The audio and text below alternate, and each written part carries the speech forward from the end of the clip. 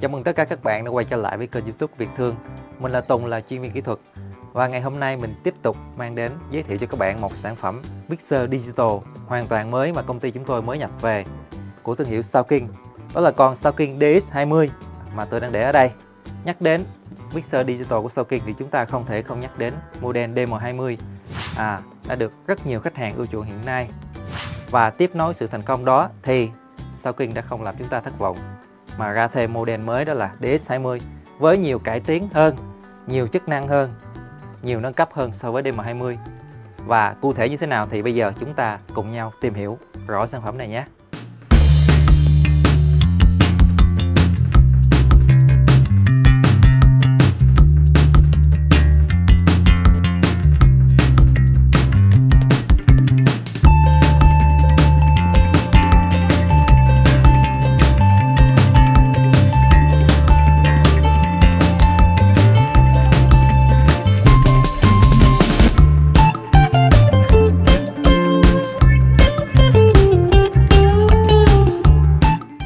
Và bây giờ mình mời các bạn cùng nhau chiêm ngưỡng con mixer mới này nhé. Đây, Sauking DX20 mình đang để ở đây. Đầu tiên cảm giác khi mà chúng ta mới nhìn vào thì mình đánh giá đây là một bản nâng cấp thực sự của mixer DM20 với rất là nhiều cải tiến mà khi mà nhìn sơ qua thì mình đã nhận xét cảm nhận được. Và lần này vỏ của mixer được làm bằng hợp kim nhôm rất là chắc chắn khác với phiên bản DM20 được làm bằng vỏ nhựa nha các bạn. Và mình rất thích máy bên cạnh mixer đây. Máy bên cạnh mixer à, được thiết kế một màu đỏ nhìn rất là sang trọng. Có model DS20 được in nổi trên đây. Về thiết kế của con mixer này thì đây là một thiết kế rất hiện đại, phải nói là hiện đại nhất hiện nay đối với những dòng mixer cao cấp. Và chúng ta dễ dàng nhận thấy sự khác biệt so với mixer DM20 trước đây là ở trên cùng chúng ta có những nút gen vật lý à, những nút gen biến trở vật lý mà trên Mixer DM20 thiếu sót. À, đây là một bản nâng cấp mình đánh giá rất là cao để các bạn có thể hiệu chỉnh gen hiệu quả hơn. Chúng ta vẫn có một màn hình LCD cảm ứng đa điểm ha. Và ở đây chúng ta có những nút thao tác setup những đường input output của mixer à, các chức năng cao cấp của mixer. Về máy bên tay trái ở đây chúng ta vẫn có nút à, recorder để chúng ta ghi âm và phát nhạc bằng USB đây. Và chúng ta cũng có một ngõ phone out để chúng ta gắn tai nghe kiểm âm.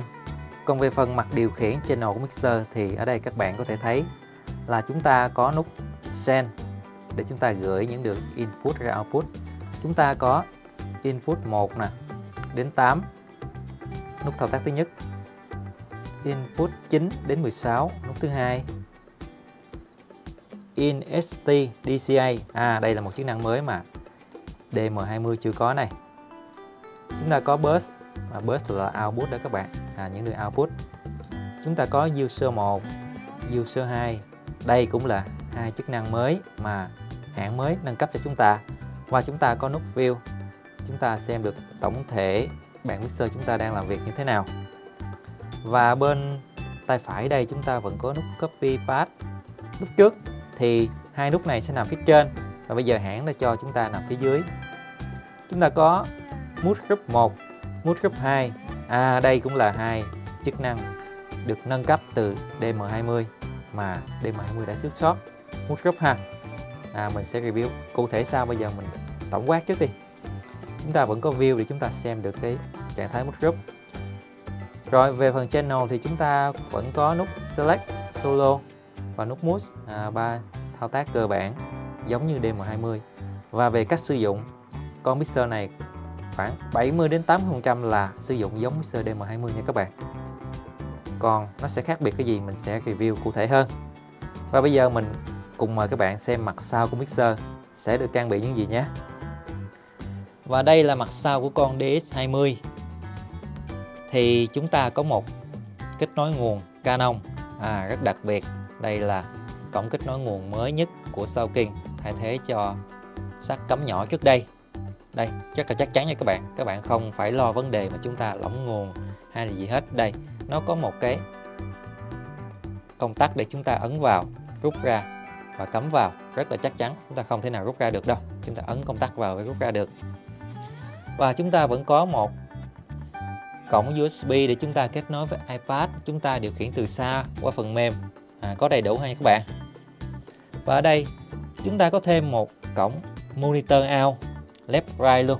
À đây là một lại là một nâng cấp mới của DS20 và chúng ta vẫn có AES out à, và BDIF out đây vẫn đầy đủ như DM20 nha các bạn.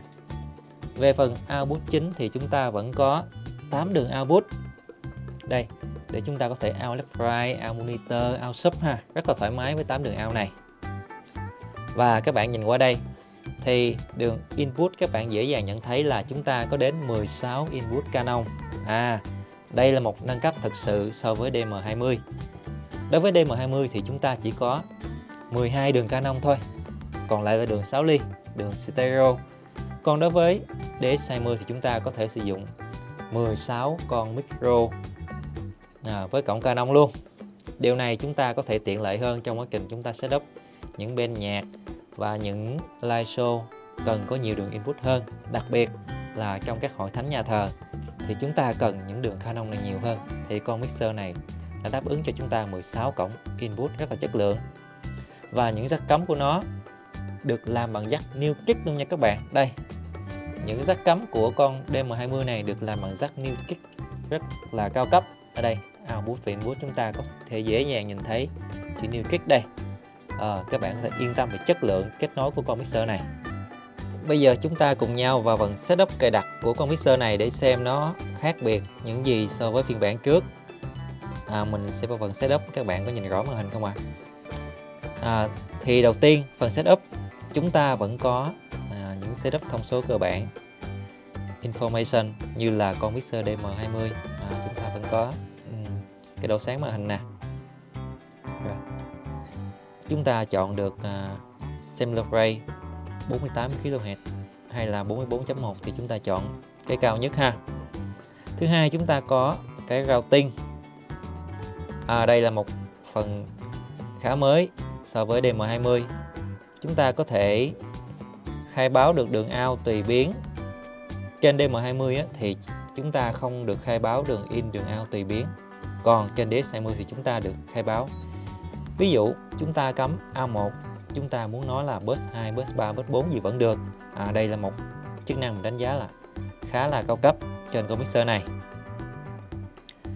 thứ ba chúng ta có phần để chúng ta giám sát tín hiệu trên từng đường input, từng đường output.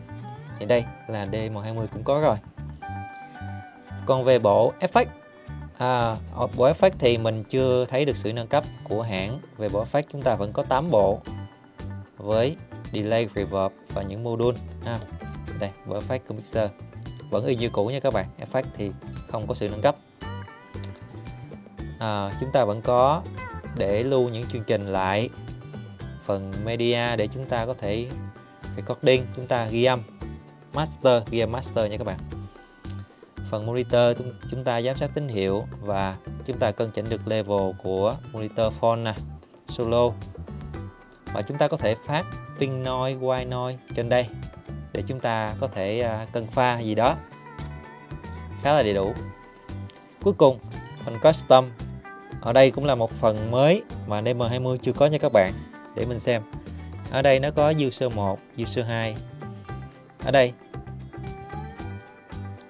chúng ta có thể tùy biến tùy chọn trên hai phần user đây. Mình có giới thiệu ở chức năng user. Thì đây là một chức năng mình cũng đánh giá là nó là một cái sự nâng cấp so với DM20 ở DM20 thì chúng ta không có hai phần user này để chúng ta tùy biến những channel. Ví dụ channel 1 chúng ta khai báo là in 2 vẫn được. Nó như vậy đó. Ở đây chúng ta có mood group 1, mood group 2 nè. À mood group để chúng ta có thể tắt đồng thời nhiều kênh nha các bạn. Ví dụ, các bạn có thể tắt đồng thời 5 6 kênh 7 8 kênh gì đó chỉ bằng một thao tác mood group mà chúng ta không cần phải, không cần phải à, tắt tắt tắt từng đường thì nó mất rất nhiều thời gian. Và đây là một chức năng mà hầu hết các mixer digital cao cấp đều có. Và hiện tại thì DM20 cũng có chức năng này luôn. Rồi đó là phần setup cơ bản thì mình cũng nhận thấy là khá nhiều sự nâng cấp về những chức năng. Đây chúng ta vẫn có nút effect để chúng ta vào sâu phần effect luôn. Và A, B, C, D. Để chúng ta vào thẳng những phần cài đặt setup mà chúng ta không có phần không cần phải vào setup và chúng ta phải chọn chọn chọn như là DM20 nữa. Thì đây là một cũng là một sự nâng cấp để chúng ta dễ dàng chúng ta thao tác hơn. Và mình vẫn thích nhất là gen gen được đưa ra ngoài gen vật lý chứ không còn là gen digital bên trong nữa. À, khi chúng ta hiệu chỉnh một live show hay là chương trình gì đó thì cái phần này rất là tiện cho chúng ta. Và mình cũng thấy được trên con Mixer DX20 này một chức năng mà các bạn à, cũng rất là ý kiến với uh, Sao Kinh vừa qua. Đó là chức năng về phần link channel. À link channel thì lúc trước chúng ta không thể nào liên channel 1 và channel 2 để chúng ta đẩy một lần lên hai fader được. Thì trên con này thì hãng đã lắng nghe người dùng để hãng update thêm chức năng link channel ở đây. Đây. À, ở phiên bản DM20 thì nó chỉ có solo và merge thôi. Chúng ta có thêm link link channel. Thì đây các bạn có thể thấy đó là channel 1 đã link qua channel 2 rồi nè à, sau khi để làm thỏa mãn người dùng ha. À, update thêm chức năng này mình cảm thấy rất là ok rất là vui. Và còn lại những phần setup cài đặt thì phần sử dụng á, thì mình cảm thấy thì nó cũng giống 70 đến 80 phần trăm so với DM20 rồi. Cũng không có gì khác biệt hết. Ở video này trong phạm video này thì mình muốn giới thiệu cho các bạn tổng quan những nâng cấp à, về ngoại hình nè cũng như là về thiết kế về những chức năng chính của con mixer này và ở clip sau thì mình sẽ hướng dẫn cho các bạn cụ thể sử dụng con mixer này như thế nào nhé. Các bạn có thể thấy thì lần này sao kinh nâng cấp rất nhiều trên con sao kinh DX20 này so với DM20 thì nó có những chức năng rất cần thiết cho chúng ta. Hãng sao kinh đã rất là lắng nghe người dùng để cho thêm những chức năng mà chúng ta đang rất cần à, những khách hàng đang rất mong mỏi hiện nay và sản phẩm hiện đang có mặt tại showroom ở Việt Thư Music. Các bạn có thể đến để trải nghiệm cùng mình sản phẩm này để chúng ta xem tận mắt à, sờ tận tay và xem nó có những chức năng gì hay ho trên đây nhé. Và ở video tiếp theo thì mình sẽ hướng dẫn cho các bạn sử dụng cụ thể con mixer này. Và hiện tại video này cũng đã dài rồi mình xin kết thúc tại đây. Rất cảm ơn các bạn theo dõi và xin hẹn gặp lại các bạn ở video kế tiếp nhé.